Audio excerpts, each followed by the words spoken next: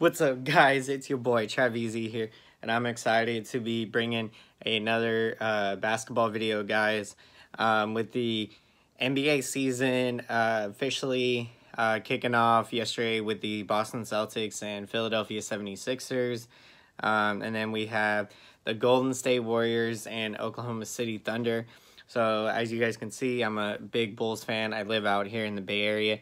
So, um, you know, we'll be talking about the Bulls and Warriors.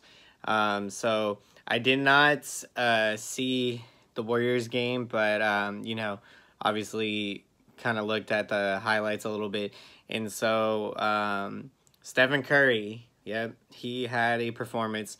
First game of the season, uh, before the game, he uh, hit the tunnel shot, which I think in his case probably aims to be for a good start to the season and then went on to make five threes and had 32 points. So, you know, starting out the season good, and the Warriors came out with the win 108 to 100.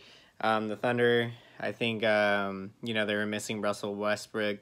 Uh, so that was definitely tough for them. Uh, but yeah, you know, um, with this NBA schedule, um, I really like how they made the changes, which enables, um, you know, more days off during the season because you know I'm used to the NBA season kind of starting when the World Series is going on in baseball, and so um, it's nice that we already have basketball. I cannot wait um, for the Bulls to kick off tomorrow, so it's going to be a good one.